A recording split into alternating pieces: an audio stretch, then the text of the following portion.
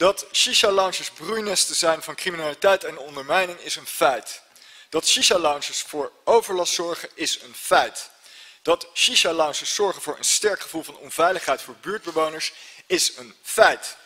Dat shisha-lounges een gevaar voor de buurt vormen waarin ze gevestigd zijn is een feit, voorzitter. Feiten waarvoor onder andere D66 weer eens halstarrig wegkijkt.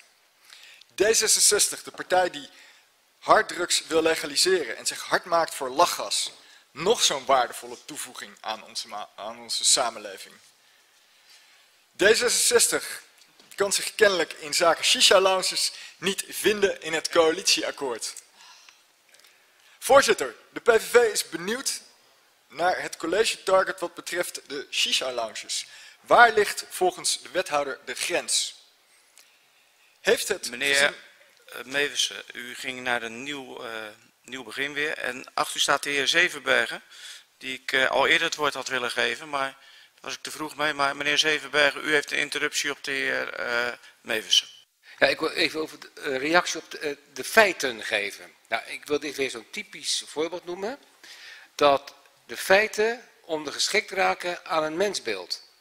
En ja, daar heb ik toch moeite mee als ik het elke keer hoor. Als je een bepaald mensbeeld hebt, een bepaald idee wat je wilt, en dat je dan niet naar de feiten kijkt. En daar gaat deze discussie eigenlijk al in de breedte over, maar omdat de heer Meeuwis het zo uitgebreid en zo nadrukkelijk zegt, ik zie geen feiten, ik zie een mensbeeld. Meeuwissen.